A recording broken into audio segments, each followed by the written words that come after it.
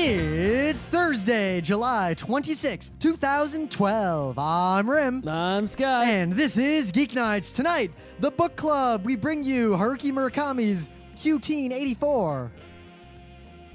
Let's do this. Or 1Q84. As you know, I, I alternate the pronunciation depending on what I said last. Ichikyu Hachion. Yep. Or, Or, it is a trilogy. Well, it's three books, but well, anyway. but yeah, in Japan, that's how they publish novels. Is they like here when you buy a novel, you get the novel, right?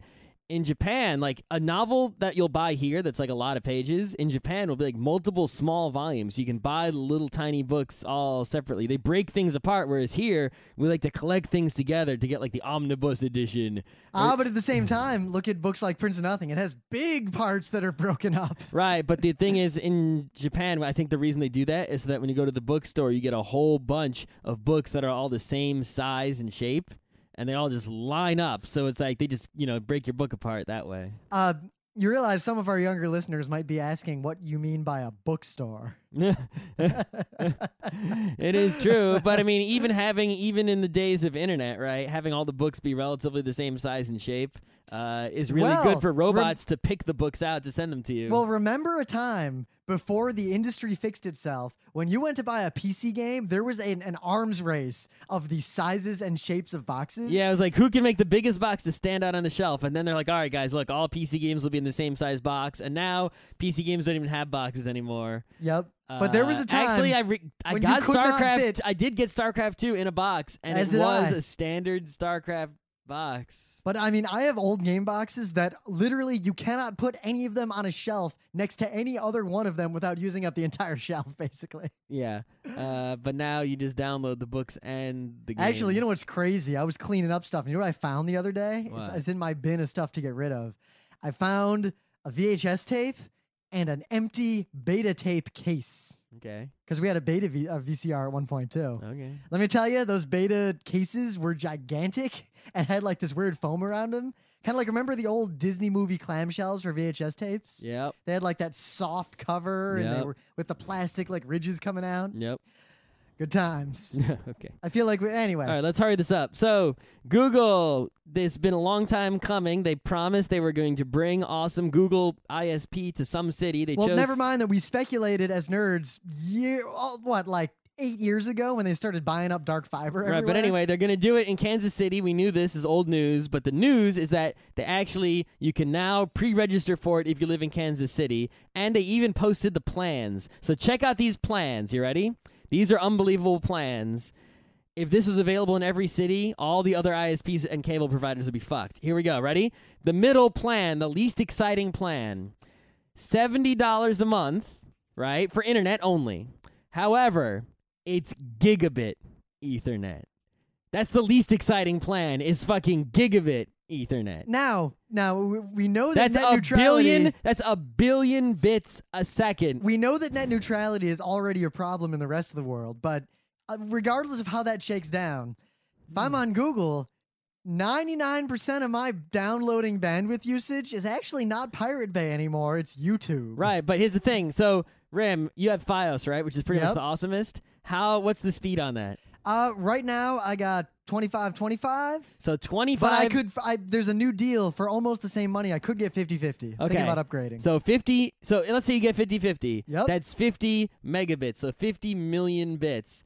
How many 50 million bitses are there in a billion bitses? well, how many angels can dance on the head of a pin? Oh my This God, is- Kansas! Why can't you be New York? All right, so wait, that's plan. That's the boringest plan. Here's the is the next plan that is more exciting, the free internet plan. It's not totally free. You have to pay three hundred dollar installation fee, construction fee, right?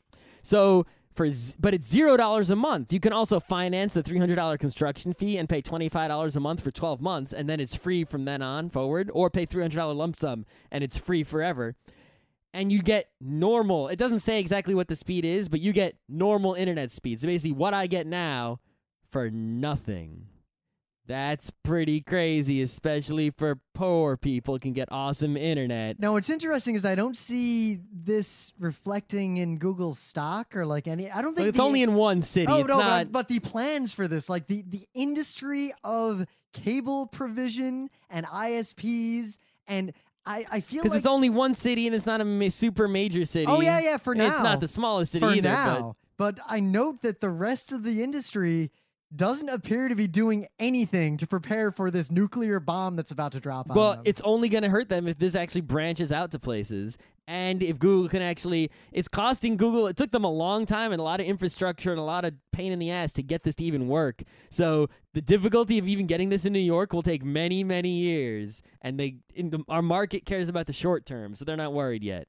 All right, now here's the crazy plan. Are you ready? all right. gigabit internet and television, which is all, by the way, HD television with a fuck ton of channels, including the all important NFL network. Right. $120 a month. But here's the craziness not only do you get the TV and the gigabit Ethernet, they also give What's you. What's behind door number three? You get a two year contract, so you're locked into this thing, right? All right, all There's right. no data cap whatsoever. You can just go nuts. I don't think there's a data cap on any of this. Uh, you get a Nexus 7 tablet. You get a TV box, which is like the cable box for the TV. You get a storage box, which is basically they give you a free NAS, a Google branded NAS, which is also sort of like uh, an Apple Time Machine thing. The network box, which is the router, right? And they give you one terabyte of space for your Google Drive in the cloud so you don't have to pay for that either. So the, it's even though it's $120 and you're paying for TV and internet, you get all these crazy bonuses to uh, go with you know your other action. You actually, if you get the $70 plan, that also includes the no data caps and the Google Drive, but not any of that other stuff. So Scott, I'm a, I'm a reasonable man. This seems ludicrous. Like there's no way it could possibly be a, a true thing. Sounds like a scam. Is there any downside? It's a pre-registration right now, so when they're actually going to set it up, who knows?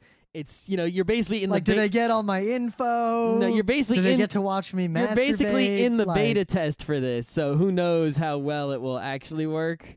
But yeah, I would sign up for this so fast. Oh my God! Yes, I've already basically sold my soul to Google. Let's leave New York and move to Kansas City and start a nerd town there. And uh, yeah, it's probably really cheap to live there.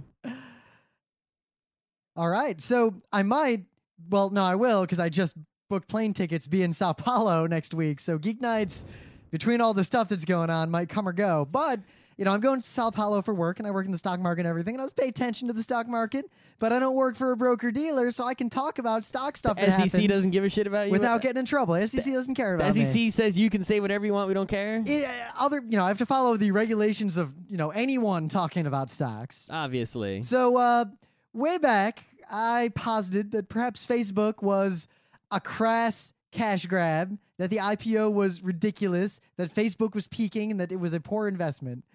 Well, Facebook stock has basically done nothing but go down since it uh, IPO'd. mm. And today, earnings came out, and Facebook dropped another like 8.5%. And it's down even further in aftermarket trading. all right. And as far as I can tell, that was on the news that they beat some expectations. Okay. So- what did the market do today? uh, the market was up, actually. the market was fine. see, usually, see when a stock does the same thing the market did, then that means Yeah, if the market was down 8.5%, percent, Scott, that would be huge news. yeah, The stock market dropping 3% is a pretty big deal. yeah, So, uh, yeah, Facebook, uh, I've said it before, I'll say it again. I think Facebook has peaked or is peaking in the current, like, three year window. Like, it's pretty much going to be all downhill from here. Facebook is going to go the None way of, of these- MySpace. none of it's these just going to take longer than it took fa- Yeah, MySpace to collapse. None of these things have any staying power. All internet things come and go, right? Uh, You know, one minute, you know, in our lifetimes, we've seen things, th- we've seen many, many things that have Live looked like. Journal, Right. America Online, Right. It's like- America. remember, AOL Time Warner. Yeah, it's like you you go back in time and it's like, wow, Windows rules the world today. No one says that, even though they still sort of do. AOL, wow, they're the kings. No one can stop them. They run everything. They're gone now, effectively, you know, mostly, right? Yahoo, wow, that's the search engine, guys. No one get up. Oh, Oh, Google, right? at all just in the and it's only been like 20 years ish of interneting So my question Right. is, how come no one who is not a technologist ever sees this coming? yeah every nothing is permanent whatever feels like it's the unbeatable monopoly that runs everything is going to go away in less than 10 years that has been the way of the internets and the technology Well, sector the- if we back up, if we, if we widen a little bit, there was one exception. Nintendo pretty much was number one for a long goddamn time. Yeah, everything comes and goes. Sometimes you make a comeback. Even Apple made a comeback. Yeah. You know, Nintendo sort of went away, came back, went away, came back. Right? It happens, but nothing is locked in the technology sector. You cannot get a lock, even when you are a seeming monopoly. All right, so uh, things a day.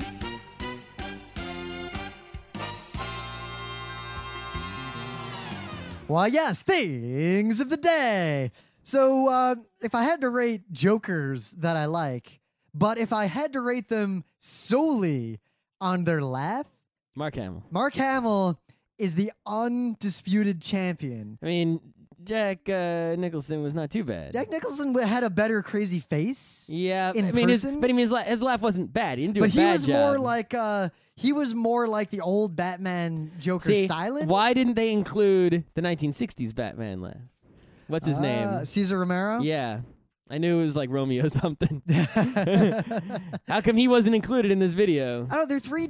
Basically, we've got Jack Nicholson, Heath Ledger, and Mark Hamill, and, and it is basically a compilation of different laughs that they have done. And it's if you watch this, it's just going to remind you that the Joker is pretty much one of the best villains ever. And eh, kind of. it, it, all right, superhero comics. Name better villains that are actually better that you want to go watch stuff with them in it. Kind of like Magneto. He's pretty cool. Magneto's pretty good. He's up there. Uh, Apocalypse. All right, Scott. All right, Scott. really. DC villains. A DC villain. That's a DC that's villain cool. that's that's even remotely cool. DC villain. They don't really have cool villains in Ah. DC so much. and yet they've got the Joker, who is almost as good as Magneto. anyway, this is just cool because it reminded me of how absolutely goddamn crazy Mark Hamill sounds when he plays the yeah. Joker. All right, so check this out. This is a short history of death on the New York City subway. So it's basically a whole bunch of stories about ways people died because of the subway and such. It's pretty fascinating. But it's also cool because the uh, this design of this web page, this little track that runs all the way down the page, and as you scroll, this little train car drives down the web page, and it's really cute. Ah. La, la, la, la, la. But it's also you're reading stories about people dying. Does it talk about the 70s when hobos were pushing people out of the tracks? Yeah, this this starts talking about things as old as 1900 when they were drilling the IRT and people were getting killed during the drilling. Wow. Right? So Well, that's the thing. New York structures are are powerful both economically and physically in direct proportion to the amount of blood of workers that is integrated into the foundation. yeah, here I'll read that section for you. When drilling began for the original I- Interborough Rapid Transit System in 1900, the IRT company recruited miners as skilled laborers useful for their underground experience. The miners made $3.50 a day, which in 1900 was a lot actually, and put up with a working environment that held all the terrors of an actual mine rock slides, patches of loose gravel, and sudden encounters with underground ponds like dwarfs. Uh, there was a reported 16 deaths to drill the IRT in 1900. Wow. So when you're riding on a train that's got a number on it, that's an IRT train. If it's underground, just remember that that tunnel you're in, 16 people died so that tunnel could exist. And that's only the beginning of this article. that sounds fascinating. About 26 people killed themselves using the train a year. That's less than I expected. But it claims around 200 victims total. Ah, so back to my Joker thing. The top comment says this Mark Hamill sounds like a cartoon villain. Jack Nicholson sounds like a movie villain. Heath Ledger sounds like an actually scary psychopath. Uh, yeah, because he's not doing something that's like unrealistic, you know. And, I think my favorite of this video, my favorite bit is him in the in the actual movie where his, he's basically fake laughing. Is like ha ha ho he who ha ho. yeah, Eh? Yeah. Have you even seen that movie? yeah. Ho. eh. So in the meta moment, Otakon is this weekend, and we are not there after almost a decade of going to Otakon. So follow it on Twitter or be there and follow it in person. Yes, our, our friend Dave Riley, who you may know from Fast Karate for the Gentleman, is going to be there doing the same video game journalism academic panel. Uh, Otakon, why are you doing video game stuff? Hey, we did our biggest panel at Otakon ever in the eight years we did panels at. Otakon was Beyond Dungeons and Dragons. I know, right? But he is there doing the same panel that he ran at ConnectiCon, and I'm going to try to get him to come to MagFest and do it there too. He's got to go to MagFest. Oh my god. Oh god. Dave, Joel, uh, I told you ConnectiCon was fun, right? You realize there's an audience. You will enjoy MagFest. You In fact, all of you Mag- will enjoy MagFest. MagFest is the number one for that. But I got to admit, around noon, you know, because Daryl Surat's at Otakon, n- none of our front row crew is there though. Like no one from the old, you know, our crew that would go to Otakon is we're, going. we're done year. waiting in line. Yeah, the thing is, the rest of the crew bailed on Otakon for way before we did, and I think PAX actually caused them all to bail on it. Maybe. Because remember, it was that first year all our friends went to PAX East, and then none of them went to any AnimeCon after that. Mm. But anyway, around noon, I, re- I remembered that for almost a decade of my life, noon on Thursday was when we'd arrive in Baltimore for our weekend of craziness. And I got a little nostalgic. I have good memories of the Otterbean lobby. Right. And I have good memories of not waiting in line because we actually scammed our way out of waiting in that line almost every year we went. a few times. And I don't think I paid for more than one Otakon.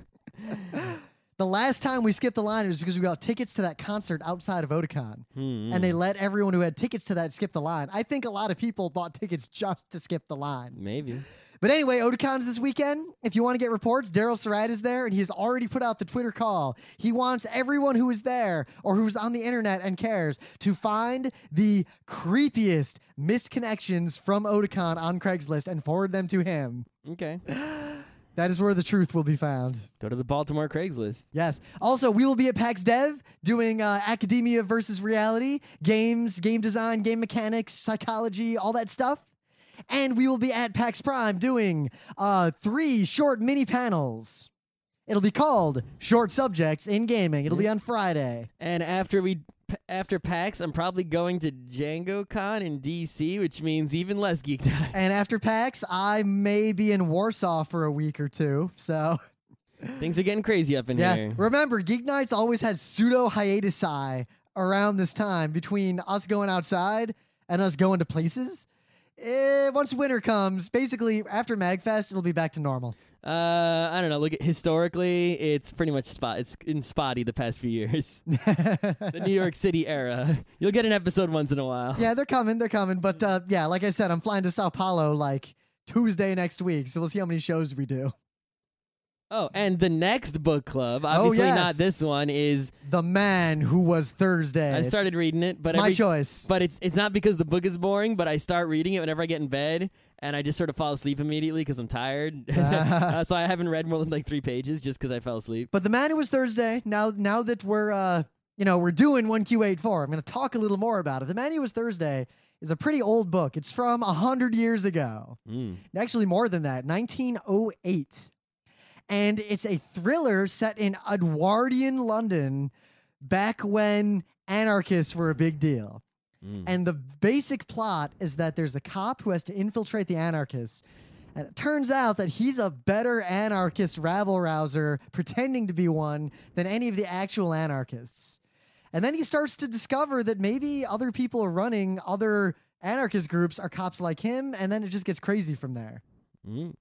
It The was cover is pretty awesome. I got the Penguin Book Edition just because the cover was so awesome. I got the 295 Kindle edition because I don't like having physical media. I don't like to pay for DRM ebook. I would have pirated it if I was going to get the ebook version. But this book is mentioned in Deus Ex, so there's a little bit of a nerdy tie. Also, when I mentioned that I was choosing between this and The Great Gatsby, a number of not Geek Nights listener kids, but adults, mostly fathers, were like, Yes, I had to read that in school. You should totally do it. Mm-hmm. And also, one kid was like, No, if you do it, my dad's been trying to get me to read this forever.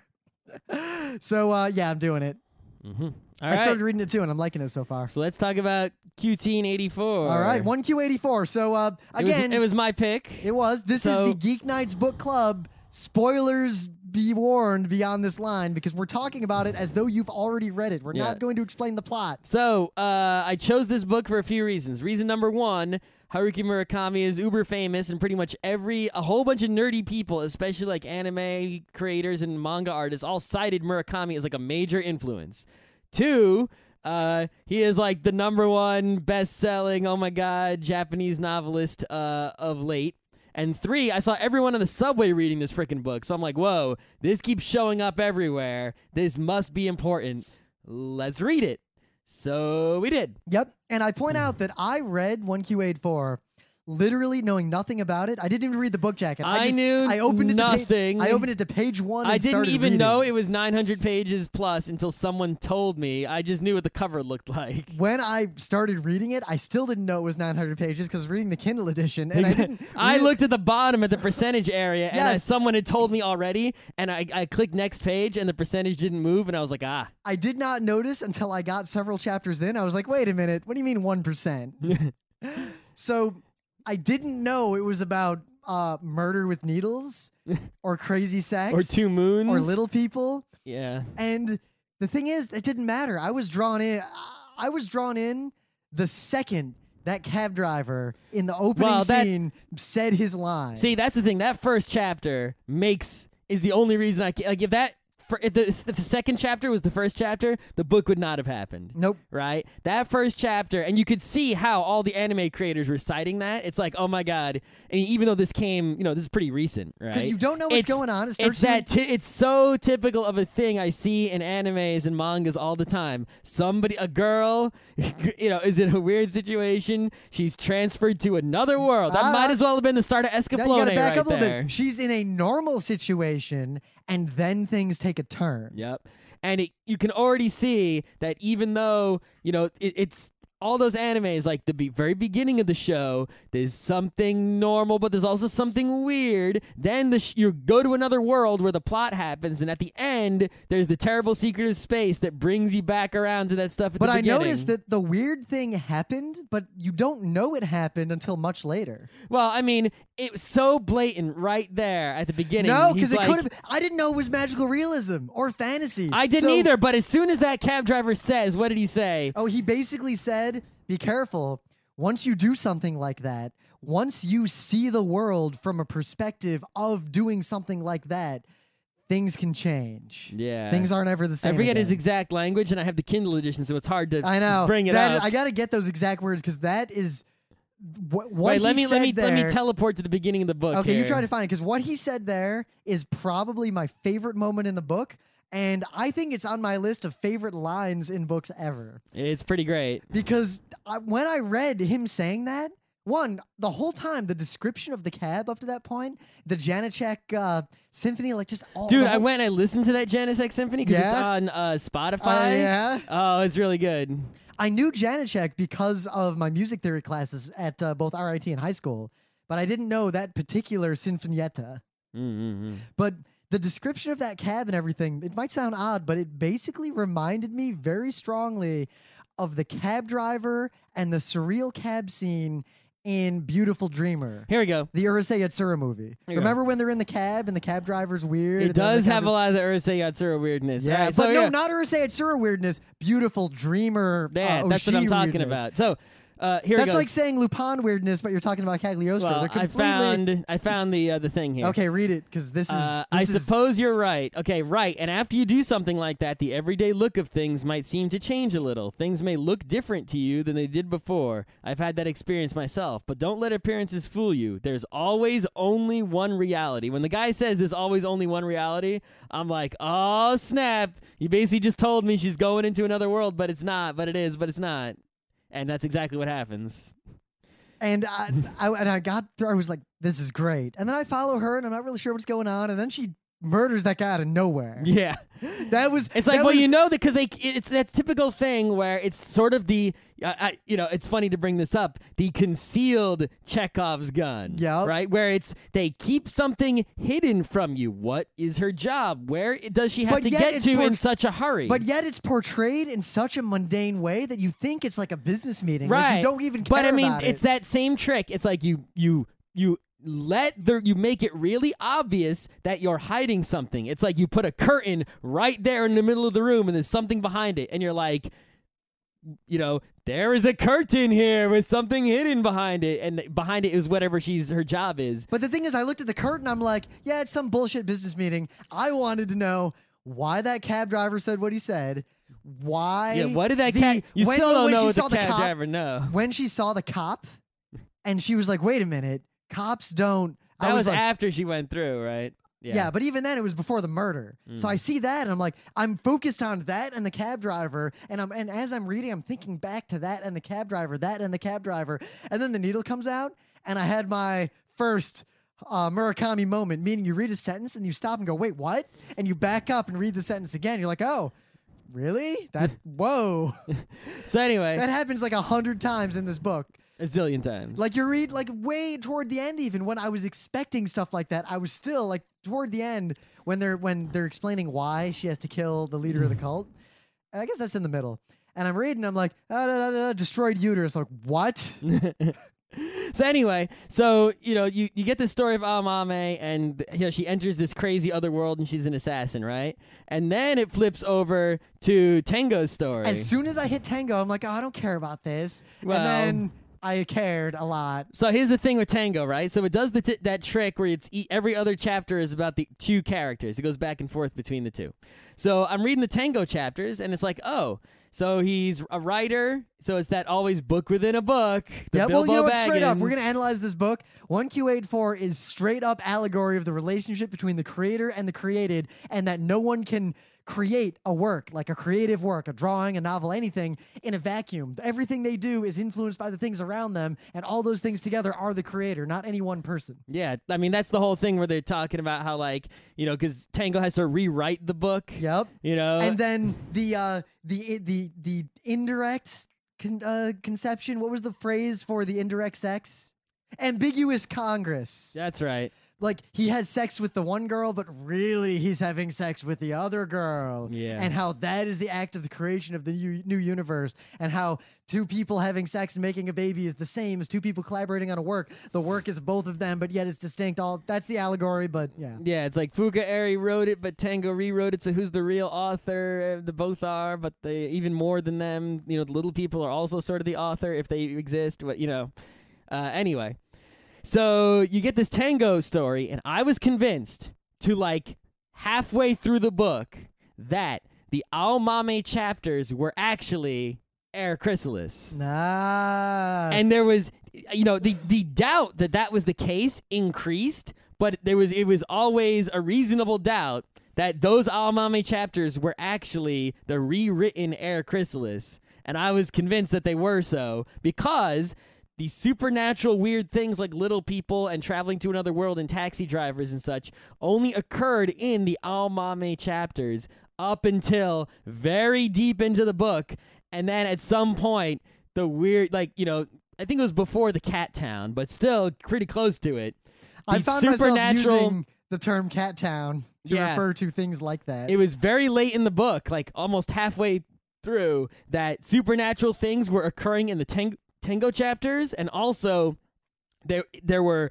connections between the Aomame chapters and the Tengo chapters that confirmed they were in the same world, like encountering the same people or knowing about each other and such and such, right?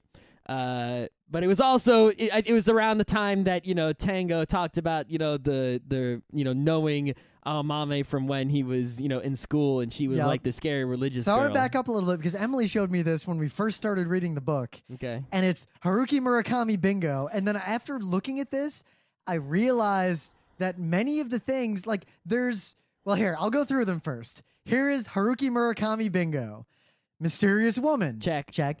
Ear fetish. Check. So that's the point, because in this book, you know, there were some cute moments with ears related to sex. And I, I basically He talked a lot about Fuka Eri's ears. Yep, but I and how they were covered with hair, or then she could see them. they'd poke out like little elven things. You just Right. wanted to lick them. exactly. But I thought that was a nice touch. Like it was an interesting like fleshing out of this, you know, scene.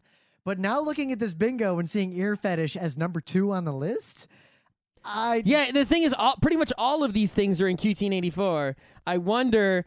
I haven't read any of other Murakami's books, but based on this bingo This card, guy read 12 have- of them and three short stories and one memoir. I and have said, to assume. Yeah, this bingo I have to assume that these th- items on this bingo are in his other books. So I'm gonna, you know, I think I'm gonna read that Kafka on the Shore next because it's the most famous. Emily read that one. She said it was weird. I'll read It ev- some- I'll read it eventually, but I'm pretty sure it's gonna have a lot of these bingo card All items. right, so let's see. Dried up well, we didn't have. Uh, was there a dried up well maybe in the crazy town that was locked up where the little people were from that Fuka Eri oh, escaped I don't from? remember. I, I don't, know. think so. Anyway, Something vanishing. yeah, Feeling of being followed. yeah, all the time. Unexpected phone call. Yes. Cats. Well, I mean, they did the whole thing with Yeah. the phone and how he could I can tell, tell. he could tell who was calling based on the ring. What was the guy's name? The the editor. It's been so long since I read it already. really? It was uh, Komatsu. Komatsu. He could tell when Komatsu was calling because it sounded like his ring, yep. or it was like he'd be like it'd ring, but there's no way that's right. Komatsu. Cats. Yeah, Old jazz record. yeah. They would the the his uh his lover, is who was his- yeah, the- clearly murdered by her husband. Exactly. The spouse. I like how you never found out, but you can assume.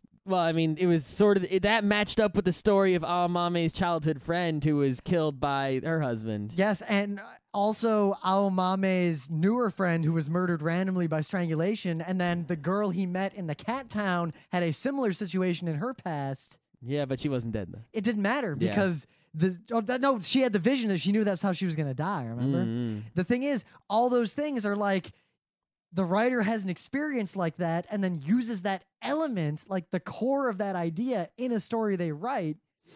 You can see the allegory coming back in it, but I digress. I also want to point out something just sort of meta, right? I'm usually pretty bad at remembering stuff, and I forgot Komatsu's name, but Yeah. look how much I remember from this book, even though I read it, you know, like a month or two ago. Usually I would not remember this much.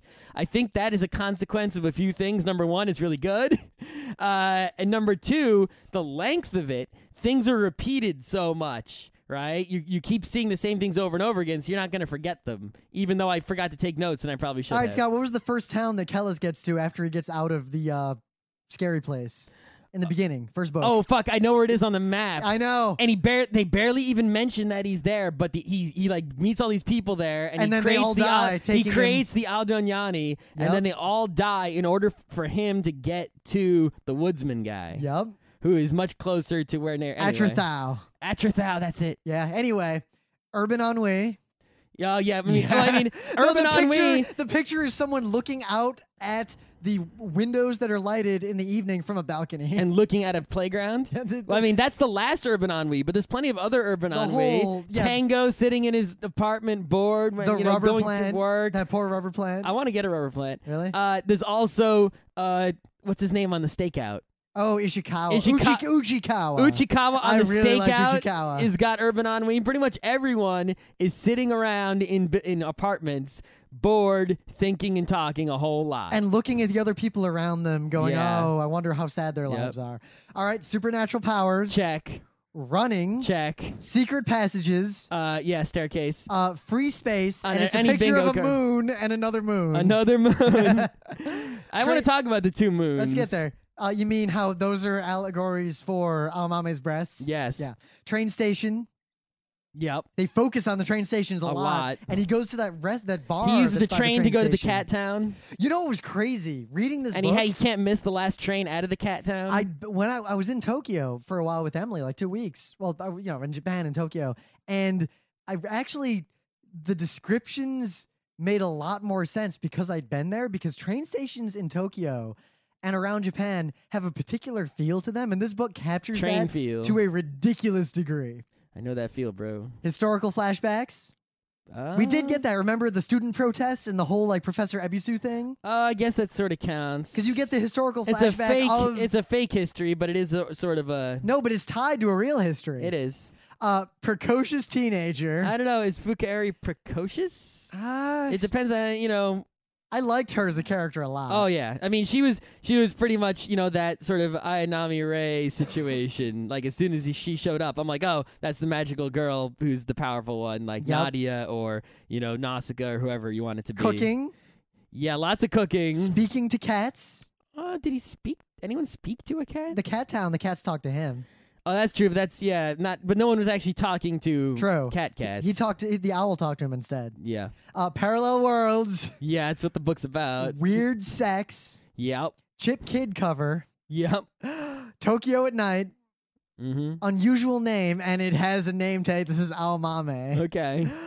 Uh, and the only last two, faceless villain, we didn't really get. Well, I guess we didn't. We kind of saw the little people Yeah, you could I don't think stretch we it and say that faceless they were villains. faceless villains. and vanishing cats, which we didn't Uh, get. I don't know if there's any vanishing cats. Someone might, you know. So precocious means unusually advanced or mature in development, Uh-huh. especially mental development. So Uh-huh. yes, Fuka Eri is incredibly precocious because she's way smarter mentally than her age, even though she's not socially developed. So if we and she's played- also physically developed well beyond her age, and they mention that often.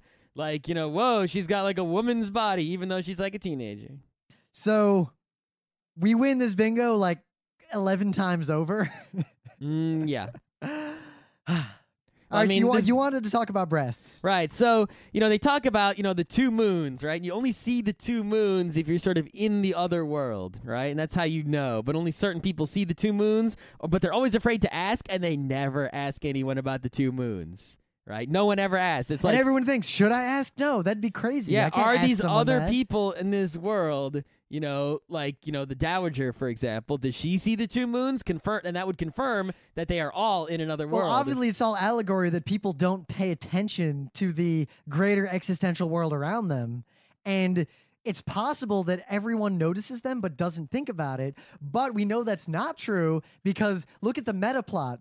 The book that they wrote inoculated people against the little people because it described these things. It's zebra storyteller. Oh, you're bringing your zebra storyteller Because it's it? literal here. That book was a literal zebra storyteller that prevented the little people from doing their bullshit. Yeah, the little people were very upset that the book was being distributed talking about them. You know, so that, that very well could be what you what you say. Uh, but anyway, you had the two moons, and one was smaller than the other. You know, but they it's like one. You know, and then you also had the with the air chrysalis. You know, the Maza and the Dota. Yeah, Mazda and Dota. Really? Right, it's Come like really, you could have done better than that. But I guess in in Japanese, if you don't know English, that maybe works. I don't know.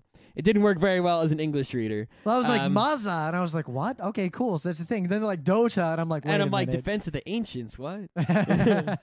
but yeah, so you have the Maza and the Dota with the Air Chrysalis, and then you have Aomame constantly, you know, going back to the fact that she, you know, she doesn't like her boobs, and they're one is different than the other. So you get the boobs, the moon, the Maza and the Dota. It's that same repeating thing of there is a main thing and there is a second smaller offspring, right? The offspring, the creation of the thing that ties back to the writing of the book right? It's it's that same thing repeated over and over again, the same imagery in different forms all over the place.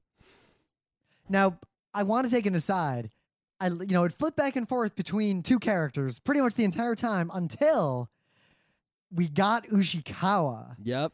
that was so weird because he's like this side character who Well, when you first introduce him, you hate him. Oh, You- he's like the worst guy. You're like, this is the sleaziest, Yeah, you're like finally there's a bad guy with a name that we can see who's actually doing stuff and not sort of like this mysterious little people or, you know, the mysterious leader or any of those kind of groups, right? There is a bad guy with a name and he's right there in front of you and they he's portrayed as like the the most disgusting person. You don't want to be near him, you don't want to talk to him, you don't want to look at him. Like I really felt like he was a slimy otaku fanboy even though he wasn't a nerd, but you know, that kind of personality. I Get the pictured fuck away someone we me. won't name from RIT.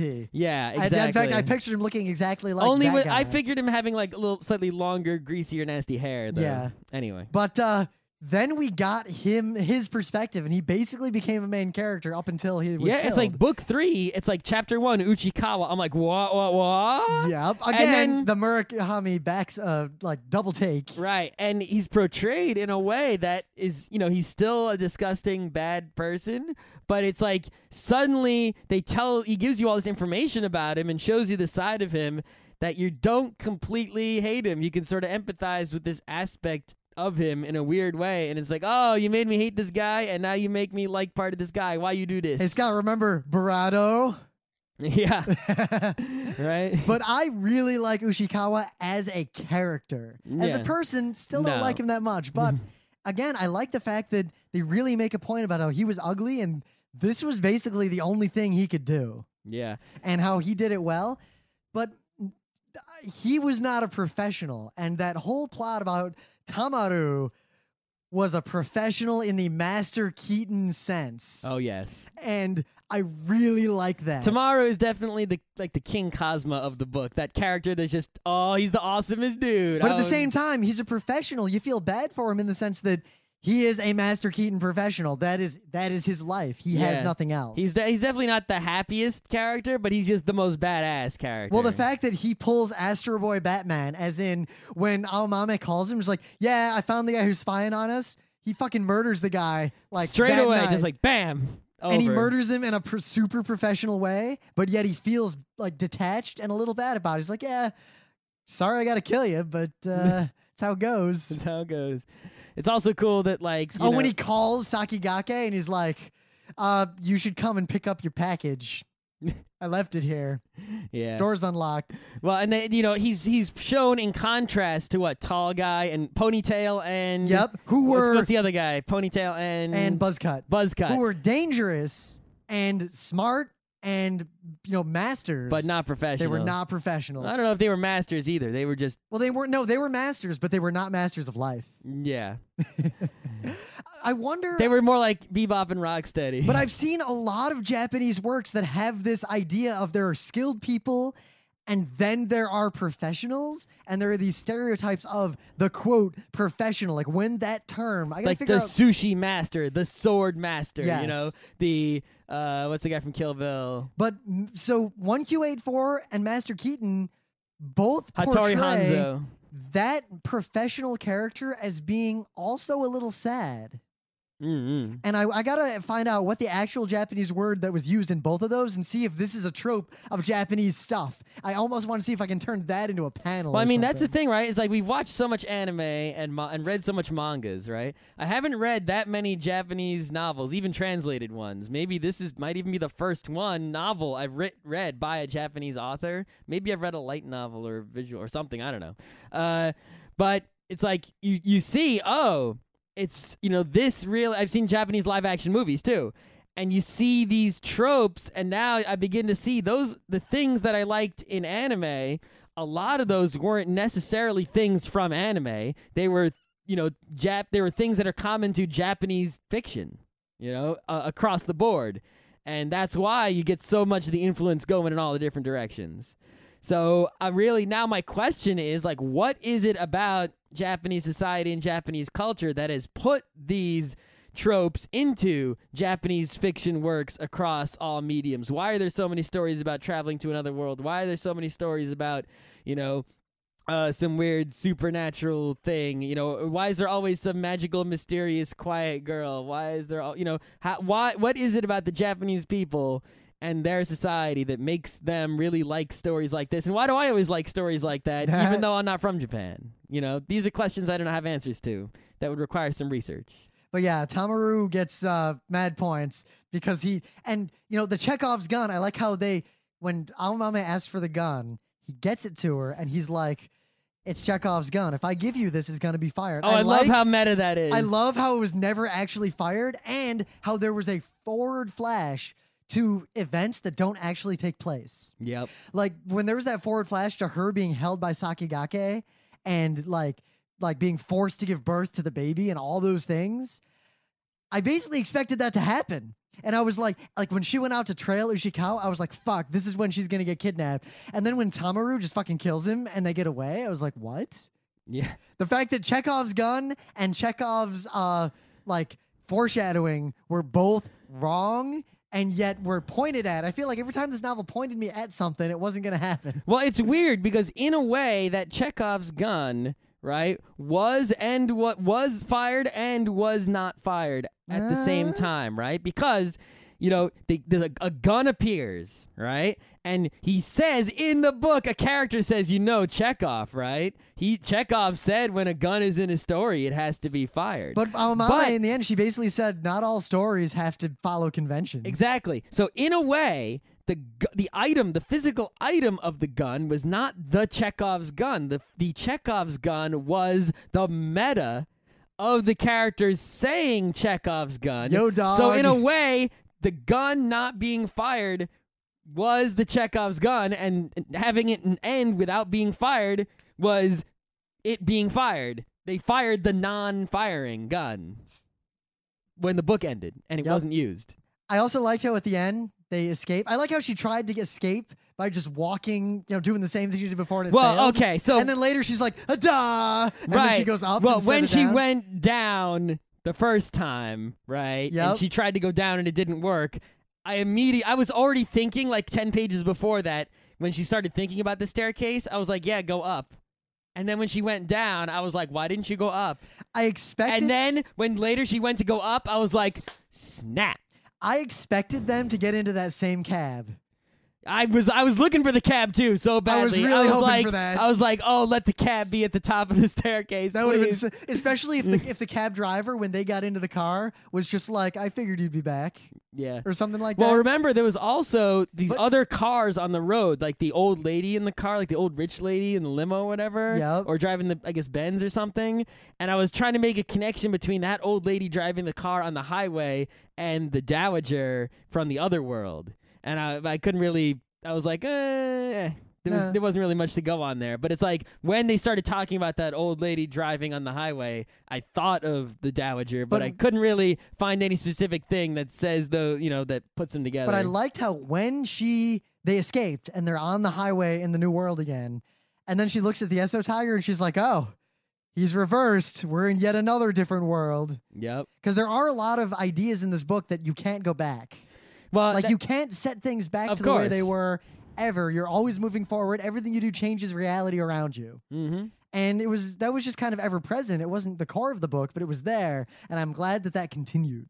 Yep. Granted, all I thought of was that episode of uh, The Simpsons where Homer goes back in time and keeps fucking up the future, and eventually he finds the world that's close enough. Well, it says things may look different to you, like the Esso tire being backwards, right? Yep, but there's only Than one they reality. did before. I've had that experience myself. So the cab driver has seen this happen, but don't let appearances fool you. There's only one reality. And when he says only one reality, I wonder, are is he saying that there's only one reality and when you think you're changing realities, you're really just seeing the world from a new perspective because of the things that have happened That's one to way. you? That's one way to look at it. Here, I'll do the Japanese thing. That's or- something some people might think. Yes, or the way I was seeing it is that there is one reality that contains these different universes and you're traveling between them. So even though it's like that other universe you were in still exists, right? In this same reality. You were there, now you are here in a different in Q1084, right? But you can't go back. It's a one-way street to go to the next But that means that the other reality might as well not exist. So there still is only one reality. Right, but it, it does still exist somewhere. It doesn't. It doesn't you. matter if it exists though if you can't interact with it. Yeah, it's you know that's just you know. And you know what? You know where it exists in your memory and nothing more. The only way you even know that there was another one because things because look you- different. Yes, you remember two something moons, different. There's a backwards thing, right? And how do you even know your memory, right? It's not like Well, they no, took a picture of the two moons and brought it with That them. well, and two brilliant things. One, this was set in 1984, so there weren't smartphones and internet to just handle that was that. yeah, that was a very. Cl- uh, let's talk about that because. You know, the level of technology that's going on in 1984 is pretty much perfect, right? It's like you don't have the advanced technology, so there's not a lot of plot holes. Because basically, advanced technology, even modern technology, which is highly advanced, is like superpowers. We can travel around the world so fast. We can communicate with anyone, anywhere, Dude, I got a so direct, easily. I got a direct flight not that long ago from an airport that's really close to my house to Istanbul. It was a nonstop nine-hour direct In 1984, flight. they had planes, but it wasn't, you know, like it is today, Yeah. right? Uh, there was there were less flights. He'd have to go home and call someone on the phone. The all the descriptions. Yeah, how do you of, get the plane ticket? You can just buy them on the internet. All the descriptions of Ushikawa having a film camera and getting his pictures developed Yep. and having the rapid fire shutter and everything? Yep. But at the same time, it wasn't so old fashioned, like a Hitchcock movie, you know, where you're you're, you're like stranded. It's like the, the the characters could do things, and it was it was exactly right for this story to where you wouldn't have like these superpower loopholes. Like, why didn't Superman just do this? But at the same time, you weren't so limited that it was boring. Like, oh, he just said it in like 1910, Yep. you know, before there were cars, so they had to have a foot race and he get caught. you And I liked how Aomame, when she saw the moon, she's like, "Was it always that way? Am I just crazy?" Yep. Which is a very, and then she's like, "No, if I even consider that I'm crazy, then I'm probably not." Yep. But that moment where uh, Tengo's looking up at the moon and Ushikawa's watching him, and Ushikawa's just like, "What the fuck is he doing?" And then Ushikawa looks up and sees the two moons, like, "Oh." Uh like that moment where he well, it shows that he was a person who had never looked up. Almost everyone in the world had never looked up. Well, Looking up is clearly a metaphor. Yes. but but it's you know but it's it's just you know it's, it's an aspect of him that's like you know what happens when a person who is probably you know sure no hardly anyone has looked up but the person who has really never looked up is ushikawa right? Yeah. so when a person who has never looked up the person farthest from the uplookers looks up it's like look what happened there right just totally blown away Yep. So let's get back to a little bit what the cab driver said because we've both experienced this. How many? And, you know, we just talked about it. How many years did we go to Otakon Yep. and love it? And we were like panelists, but joining the staff, working the artist alley, going to PAX as a guest speaker instead of an attendee. Once you see conventions from those perspectives, if you go to a normal convention as an attendee again, everything you see everything completely differently. oh yeah i you mean can never see it any other way again. I really think that was like the part of the book I enjoyed more than anything else is even though he's describing these supernatural experiences that would never happen to any real person, somehow they relate to things that really happened to, to me, at least in my real life. Well, that cab driver I see something in a different way, and now I can't see it the old way ever again. that I cab had driver some could sort have of just had he went to an anime con and then he helped run it. yeah, I had some sort of surreal experience that might as well have been little people, but it wasn't actually little people. It was just dream. I like how they were actually- imagination. you I know. really liked how they were actually literally just little people. Yeah, that, That was, was kind of weird,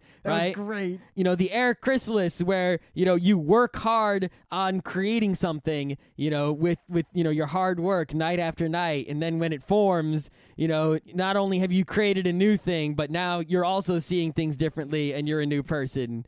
You know, and it, it's it's like ah. You know, every one of those things, even though I did not literally make an air chrysalis or whatever, right? I'm sure all of you listening as well, you have done all the things that have happened in this book, you know, including not shoot someone, right? You know, being paranoid about people watching you, you know, all this stuff. you know, I, if we haven't said, I really like this book. Oh, really? Yeah. You don't say. I really, hmm. really enjoyed it. Yeah. Scott picking the books that people enjoy. That was a good book. Yeah. Uh, do we want to say anything else? Oh, I do want to say one thing, right? Uh, in this. Uh, Okay, because I have one like big thing I want to say. It's the uh, only mine, thing I mine's disliked. meta. Mine's meta, so you can go. Okay, so the one thing that pissed me off is that the plot to kill the leader of Sakigake was bullshit. That was a stupid plot. Uh, it wasn't because the dumbest no, plot. no, no. Here's why it was dumb. Okay. The whole point of her killing him, as opposed to someone else or some other way, was that she can kill people in a way to where no autopsy can possibly figure it out. Mm-hmm. That it appears to be a natural death. Had she not disappeared and emptied her apartment and made it obvious that she had killed him. There is no way they would have known, and she was a public enough figure because of her work to where they couldn't have just disappeared her. That's unlike sort Komatsu, of true. Unlike Komatsu, who was such a recluse, it was trivial to disappear him. That's sort of true, but at the same time, right? If you're the last person to see a dead person and you killed the leader of a crazy cult, they're probably going to come after you anyway. So your best bet is to run away and hide, even No, if because that no, gives no, you because away. she had blackmail on them in that she had knew the leader was dead if they go to her. Mm, that crazy storm is here. That's meta. I know. We're watching a crazy thunderstorm roll over New York City. We've been waiting for this all day. uh, okay, so the meta I want to talk about is in the back of this uh, edition I have on my Kindle that I illegally acquired. Uh, there's questions for discussion. I, got, I had that too. and some of these are the lamest book club questions. Oh my god! I looked at that. I was like, "What is this? Third grade?" I was like, when I reading saw that, I was like, okay, these, I saw it said questions for discussion, and I was like, oh, there's a chance that these, a very small chance, these could be good, and maybe we'll use them on the book club episode. They were pretty much universally bad book club questions. Like the first one. 1Q84 is a vast and intricate novel. What are the pleasures of reading such a long work of staying with the same characters over such a long period of time? Really? That's that's your book club question. This these are questions for the old lady Barnes and Noble book club. Yeah. You know. So a few people, I was just reading some reviews of it. There were a few like literary people. Most, pretty much everyone, the critical reviews of this were just like, "This is the best book." but some people hated it, and pretty much the people who hated it all said that it was tone deaf dialogue. Unyielding plot that goes nowhere, lazy and cliched, and that the little people were not menacing.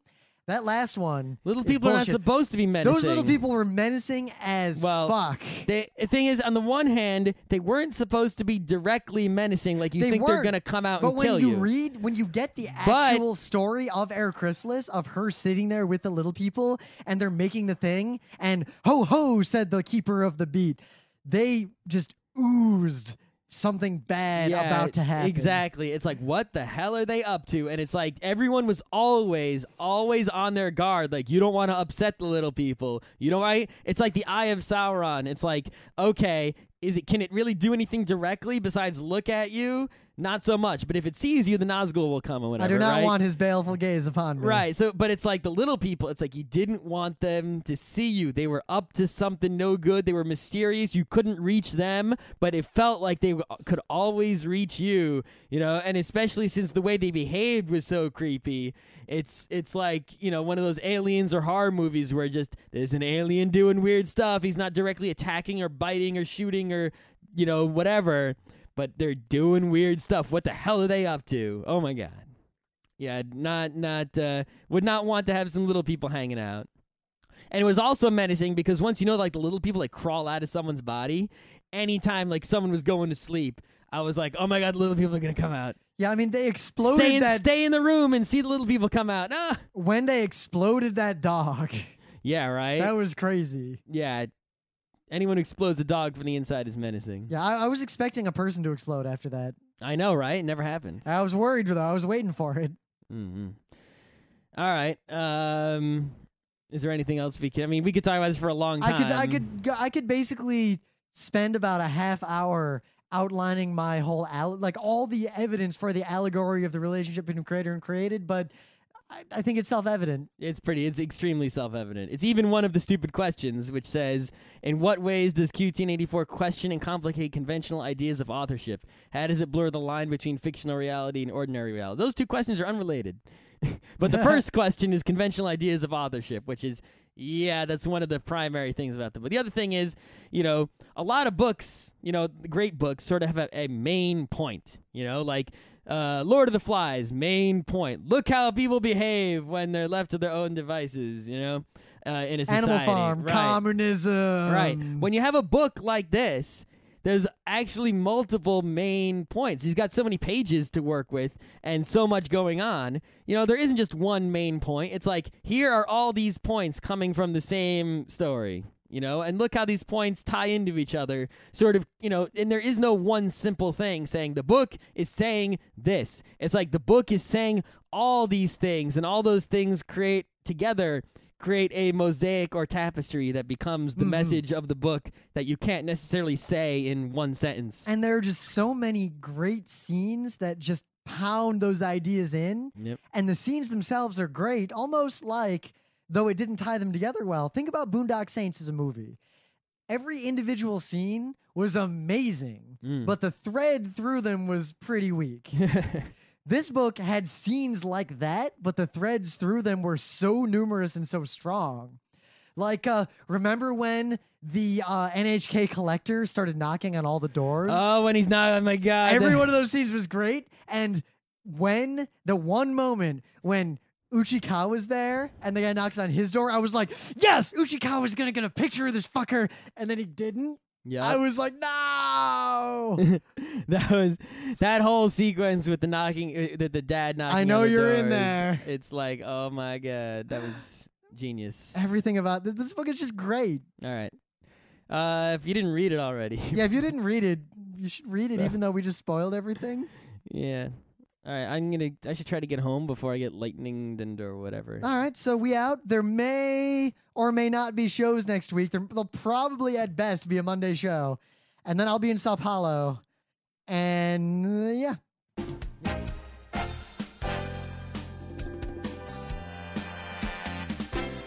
Has been Geek Nights with Rym and Scott. Special thanks to DJ Pretzel for the opening music, Kat Lee for web design, and Brando K for the logos. Be sure to visit our website at frontrowcrew.com for show notes, discussion, news, and more. Remember, Geek Nights is not one, but four different shows SciTech Mondays, Gaming Tuesdays, Anime Comic Wednesdays, and Indiscriminate Thursdays. Geek Nights is distributed under a Creative Commons Attribution 3.0 license. Geek Nights is recorded live with no studio and no audience. But unlike those other late shows, it's actually recorded at night.